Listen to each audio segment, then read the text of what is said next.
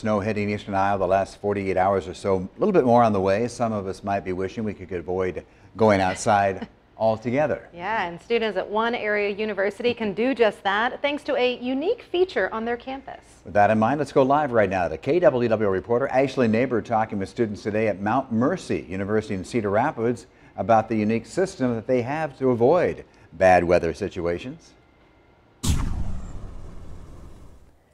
Well, that's right, Abby and Ron. I'm here at Mount Mercy's campus, and as you can see, it's fairly quiet here. Now, of course, that's partly because of it is a little bit later out, but really that's because of what's underneath my feet.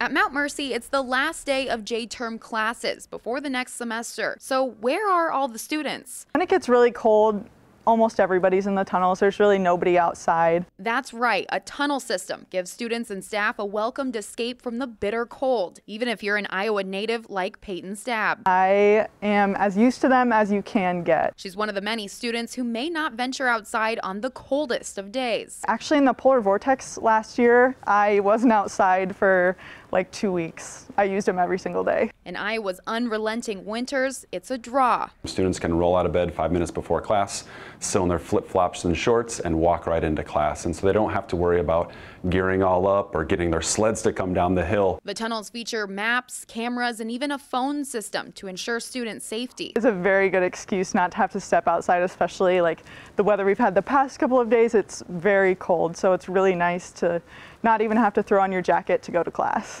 It connects the entire upper campus, meaning no venturing outside to go to class, the cafeteria, or the gym, and it may double as one too. People that are walking just uh, hear someone coming on the left and they see someone sprinting by, and it's a great opportunity for our students not only just to stay in shape, but to stay safe so they're not running on the ice too.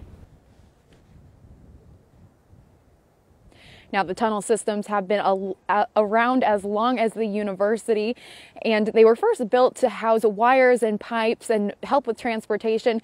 Over the decades ago, they were opened for students and staffs, and as the campus has expanded, so has the tunnel network. Live in Cedar Rapids, mm -hmm. Ashley Neighbor, News 7 KWWL. Yeah, thanks, Ashley. Ashley, of course, you mentioned the uh, security for the students. That's always top of the list with the maps and the cameras and the phone system. Security officers also make the rounds all the time. And by the way, the tunnels are closed overnight for safety.